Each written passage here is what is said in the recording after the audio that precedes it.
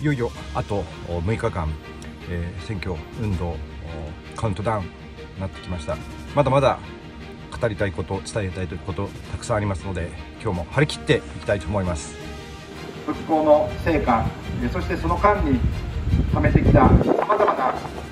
地域の力地域の魅力これを大いに発信していきたいと思います。